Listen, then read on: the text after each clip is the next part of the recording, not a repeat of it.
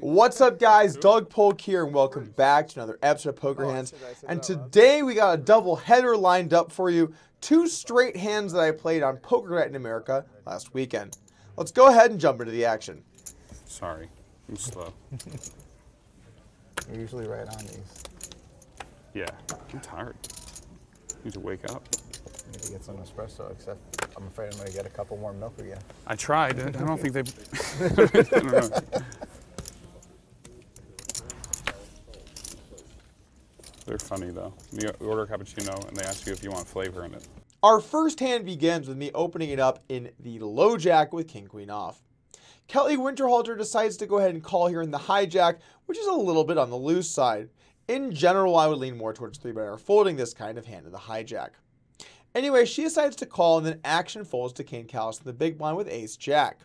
With ace jack off, I like his decision to go ahead and call. It's a hand that plays well post flop, can give you some strong top pairs, and also isn't the greatest hand to 3 bet for value. Let's go ahead and take a three way flop. I think I think around here people just order like the ice. No, like the ice drinks with like the sugar. I think that's more standard than the traditional. The flop comes queen 10-9 with two hearts, and everyone gets a little something to go with. Kane Kalas flops an open-ended straight draw to the nuts on one side and the backdoor nut flush draw. I flop top pair second kicker with, kicker with a gutter, and Kelly flops a double gut shot and a kind of concealed looking one. She'll make a straight in either a jack or a seven. Kane checks, and now with king queen, I think you can make a reasonable argument for either bet or check. I lean a little bit more towards check as I did here in this hand because I think it adds some, prote- some protection to my checking range. Also, if I bet and get raised, yeah, I have a pretty easy flop call and definitely some turns where I can improve and call as well, but in general, my hand will be awkward on later streets. In a lot of those spots, I go for the passive line and try and beef up that checking range. So I check and now it's over to Kelly, who has a really good candidate hand to bluff. She can improve to essentially the nuts versus a check call. You know, check call range is not going to have a straight on a seven, and on a jack, she'll have a hand that definitely will have some value. Also, her hand has no showdown value, so it's another reason why I think I like a bet. And she definitely will have a wide range of value bets here, including strong queens, some two pairs, and also some straights. This is definitely a hand that she's going to want to work into that bet range so that she can have enough bluffs on later streets. Anyway, she decides to go ahead and check back the flop, and we take a turn. Based on how weird they look at you when you order cappuccino. Yeah.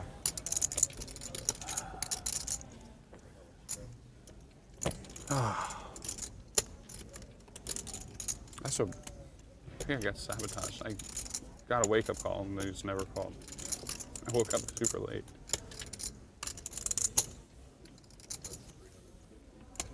It's bad luck. Now that he has my book, David, what's your what's your greatest strategy at the poker table? What do you think made you successful for such a long period of time? Honestly, not even as a troll, like being a chameleon, just being able to do lots of different things and lots of different, be able to play lots of different games, be able to play in lots of different lineups, be able to play against any type of player. You're a pretty badass chameleon. Flexible. Thanks. So how would Thank you play? How would you play today on TV differently than what you did normally? How much is that? Can't give. I can't give up all. I'll give out all the information. Just we're gonna little have to pieces just, of it. We're just gonna have to tune in uh, for that. But how I play today might not be how I play tomorrow. Might not be how I played yesterday. I'm, some people are only able to play one style of poker. I'm able to. So you adjust to whatever the table I can is. adjust to whatever my mood tells me to do that day based on lots of situations around me. The turn is the six of hearts, which is sort of a funny turn because everyone's hand gets a bit better. Now Kane has the nut flush draw to go along with his open ender. I pick up the second nut flush draw, and Kelly hits a weak pair. I'm sure she's not too thrilled about that. Kane in the big blind now really could decide to do any of three options. He could either bet, he could check call, or he could check range, check raise. They're all on the table here. He does decide to go ahead and check, and I don't mind the decision. Now over to me with King Queen, very clear turn bet for value. My hand was close to being a value bet in the flop, and when the action checks through, you definitely want to bet hands like this on the turn. So I decided to bet about $325, around two thirds pot. Now Kelly quickly gets out of the way. 6 8, even though it has improved to a pair, is not a hand you want to call with on the turn, and the action's back over to Kane. Now, I think you could make some pretty reasonable arguments for call or raise, but I like the decision to raise. If he check raises here, he's going to have a ton of equity against basically any hand that decides to bet call, other than a couple of strong flushes. Let's just say I have a hand like a queen, or even if I had a hand like a turn set. He can still win on a king, an eight, or a heart, so really his hand has a ton of equity against my range. Additionally, given the fact he has the ace of hearts, I now cannot have the nut flush, which is one of the hands you have to most be worried about when making a play like this. You could maybe make an argument that he should just call here on the flop. He does have some showdown, some playability across rivers, but when you check raise with this hand, you don't have to be worried about getting 3-bet because you know your opponent does not have the nuts and also does not have the nut flush blocker. So all in all, this check raise looks really good to me. Back over to me with King Queen, and I have a very simple call.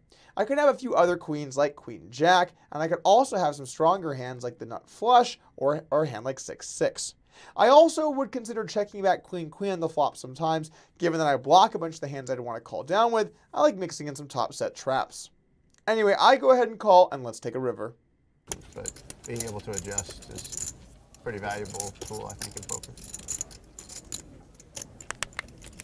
Now, what about you, Eric? I don't know. I never win. I just play for fun. I think you're lying at the poker table. See, that's an angle What do you know? That's an angle. Lying, That's an angle. lying He says he never wins. He's a the Yeah. loser, and he's really the biggest winner in show history. yeah, right. wow, we're so rough. Win one time. What about you, Kevin? Me Yeah. What's your What's your best asset at the being table? psycho crazy. Psycho crazy. Saw that. Yeah. Psycho crazy. You should you should have said you play very tight. That was the wrong answer. Are you trying to angle me by acting like you're psycho 2700. I might crazy, but you're really tight? I might be. Okay. She's got all the moves. That's a All lot. the That's a lot of moves. All the That's angles. a. That's I guess I got to moves. go with this one. I don't even. King. The river comes the nine of spades pairing the board, and Kane decides to go ahead and bet $2,700. Now, I think that this is an interesting spot. The big blind's range is not in a great place here on this river because the player that opened preflop can certainly have a hand like Queen Queen or 6 6, and those hands are almost always going to be the nuts. The reason is because when the big blind check raises you on this board, they're really saying that they have a flush or maybe a straight. A hand like two pair is probably just going to bet and doesn't really have enough hands to get called by that are worse to go for the check raise. Maybe a hand like tens or nines could go for the check raise. But then the thing for those hands is if it goes check check on the turn, it's pretty bad for them as many hands have a chance to suck out. So when he check raises me on the turn, I think he's saying that he has a straight, but probably a flush if he's value betting. This means that this river is pretty bad. While he can still have a bunch of flushes that beat me, I can certainly have a hand like the nut flush or queen queen or 6 6, and those hands are all going to want to go all in. If I have a hand like a boat on the river, I don't see any reason I'd want to go less than all in, even though, yes, it's a pretty large jam here. My opponent's range is relatively capped at a flush, which means I should be using an aggressive size here facing a bet, and you could maybe argue that the big blind shouldn't have many bets here at all. In general, in spots where your range does not improve very much, and you have still some value from the turn, but your range does not improve to the nutted hands that your opponent can have, it does make sense to mix in some more checks. And if your opponent bets and you're in the spot where you can have those boats, don't be afraid to go all in. Now, it's a bit interesting here to decide which hands I want to bluff with. You could make an argument to call with King Queen and Jam Queen Jack, and I think that'd be pretty reasonable. I did not want to have the Ace of Hearts in my hand though. I want him to either be bluffing with that card or to have a hand like a flush because a flush is in a tough spot facing a jam. So I think having a blocker to a boat and a blocker uh, like a king, eh, I think the king is relatively neutral, frankly. I don't think that it matters much one way or the other, but I want to bluff with a card that blocks boats if my opponent could potentially check raise with a hand like queen 9. So I think of the hands that bet the turn and call raise, my only real candidates to bluff with are a hand like maybe King Queen or Queen Jack. And so I think in retrospect, I like a call here with King Queen uh, and a bluff jam with Queen Jack, as well as jamming with my boats. This is obvious. Look at one card. Uh, mine is Hold more. You've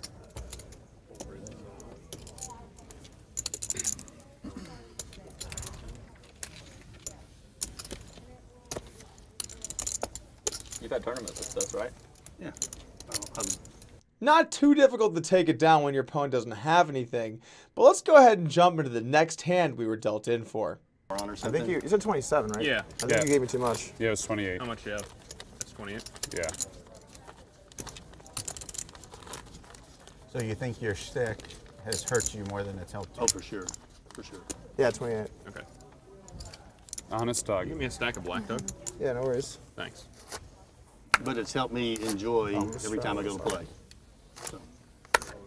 I think uh, If. I'm here to pocket hundreds on bets, entertainment is a big part. They're of for it the wrong for me. I, reasons. I, I've gotten to the state. especially on TV, just like, I don't. I don't only play in the best games. I play in 2700. the games that I have fun in. I enjoy. I'll, I'll pass on a. I'll pass on a game that might be better financially for a game that I enjoy. I play too much poker to not have fun at the table. Is that right? yeah, that's right. That was good. Cool. Oh, this again, huh? Every, new. every straddle, Every you're just straddle. like, here we go, free money from Doug. Well, I mean, Stop by. make me work for it, but Yeah. I straddled up to $100 under the gun, and the action falls to David Baker, who raised to 300 with ace 3 suited. Everyone else decides to get out of the way, and I look down into the straddle at Jack 8 off. I call, and let's take a flop. Well, even with all the dogging and stuff that I do, I, I kind of look for opportunities to. The flop comes ace 8 7 rainbow, and I flop middle pair while David Baker flops top pair. I check over to him, and he decides to check it back, which I like with some of your weakest top pairs. That way, when you check back and play the turn, you will have some pretty strong hands that can call down and value bet in later streets. Anyway, the action goes check check, and let's take a turn. help people in their lives. Like his friend, poker player, and just came through the marriage boot camp thing I did. Him and his girlfriend, and they came through and it helped. The turn comes another 7, which is a very interesting card. On one hand, in the big blind, I'm going to have way more sevens than the player who opened from early position will. But on the other hand, when, the, when he checks back the flop, he's generally saying that he has some showdown value or maybe a hand that's kind of weak. So when the turn comes another 7, that's a, a card that certainly could hit some open hands like 9-7 suited or 7-6 suited, but also if he has a hand like a weak ace, he's now not going to fold at pretty much any point if I bet and bet the river. This means that I'm not really likely to bet too many hands here on the turn. You could maybe argue to have a small bet range of a few different hands, but given that the big blind won't have pairs like kings through tens and also won't have as many ace x hands pre-flop, it doesn't really make that much sense to be betting here. Now, the player that opened won't have very many strong ace x as those hands will be betting the flop, but at the same time, they have improved here on the turn some of the time, whereas the big blind has tons of shitty hands. And of course, by big blind, I mean straddle. Anyway, I check it over to Baker, and now I think he can either bet or check. I like both of his options. One of the cool things about betting here is you can get some thin value, and you'll be protected because you certainly could have a hand like 9-7 or 7-6 suited. This means if the big blind wants to go to town and start check raising you a bunch, you have some protection in your range. However, he does decide to check back, which is fine, and let's take a river. Their I had really good things to say. So it was great. Oh, you're, you like a therapist? Mm, I'm, I'm kind of a game master. So the marriage boot camp's about you play a bunch of games, drills, exercises, and it's life enrichment boot camp too. And you learn about yourself by playing games. It's like poker. Right. I mean, you learn a lot Adding five. over time. Whereas if you just somebody teaches you, or you write a book about it, you're not going to learn anything. Right. So most people in their marriages, they go to counselors for one hour, talk them to death. They don't get anything out of it. Right. I, that makes sense. So we have like 120 games we make couples play. That's cool. games. Any of them poker games? No, I can't can't figure out how to get poker in there. Strip poker. Yeah, but if you have two couples, that's probably not going to help Oh, the marriage that's awkward. thing out. Yeah. That's we awkward. normally have like normally have like 50 couples. Yeah, okay, gotcha. And some people you just don't want to see stripped down. I'm telling you. Yeah, yeah. Fair. I mean, get The river comes a king, and now in the straddle, I would be looking to bet with a bunch of hands. If I have an ace, I'm certainly looking to go for some value. I might maybe check one or two weak ones to have some top pairs when I check, but in general, those hands are going to go for a value bet. If I have a king, I'm probably looking to check call. You want to make sure to have some pairs that are strong enough to go for the check call. If I have a hand like a full house or maybe a strong seven, I'd be looking to check raise, try and get more value from an opponent that's checking back a weak ace twice to value bet, or someone trying to go for a thin bet in the river with a hand like king queen, or really any king, of course, being the same value. So I check it over to Baker and he decides to bet 500, and now I'm in a bit of an interesting spot with an 8.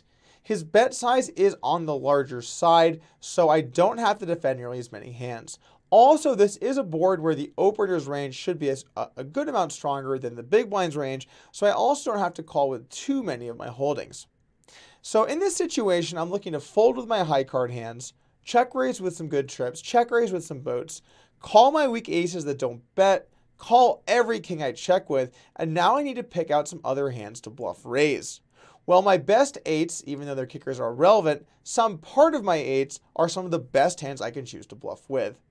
This is because, yeah, I mean, it's not likely he has a hand like 8-8, but it does block if he decided to play 8-8 or 8-7 like that, which is good. And also, there's not really that many other hands that have significant removal. I'm not going to be able to check raise with a hand like a king because if I call, I might chop with some of his value range. Also, if I have a hand like Queen High, it's not like that hand is particularly good anyway. In fact, in some ways, it's worse because I block some bluffs he might want to bet with. In general, if he is bluffing here, he probably has some kind of high card hand, maybe a hand like Queen Jack, Queen 10, or maybe a really low suited connector that did not decide to bet flop return. But in general, those hands as bluffs check as bluff check raises will have basically nothing good going for them. Well, an 8 does have something good going for it, and I need to pick some bluffs, so I decided to use Jack 8 here. I'm going to balance it out with my trips and boats, so it makes sense as a balanced strategy. As far as what size we're looking to go for, we want to go for something pretty big because we're saying, hey man, your ace or king isn't good. I have trips or a boat, and that way we can bluff with more hands. Remember, the bigger the size you go, the more you can bluff. So facing $500, I decide to put him to the test. With the action back over to Baker, he has a pretty tough spot here with a weak ace, but here's the bottom line. You can't continue when you only have king king, which is really the main good hand he can have here. He can also maybe have a hand like aces if he trapped flop and turn, but I think that hand might look to bet somewhere earlier. So really in this spot, after having specifically second set, an ace is his next best hand. So when you have an ace in this spot, you have to think about it. What does my overall bet range look like? Look like? Am I going to bet kings here? If you're not going to bet with any kings in this spot, which I think would be a little bit too conservative, then yeah, you can look to fold some aces. But if you're going to have bluffs and king x and ace x, then you're going to have to probably look to call when you have an ace. In that situation, an ace is one of your strongest possible hands, and even though your odds aren't good and your opponent can definitely have some value bets, if you just fold without thinking about it, then they can start to exploit you. The most important thing to think about in this situation is what price does my opponent get on their bluff? And in this case, my price is really terrible. I'm risking something around $3,500 in order to win a pot of only around 1,200. So he can certainly mainly fold, but he still has to find a call something around 25-30% of the time.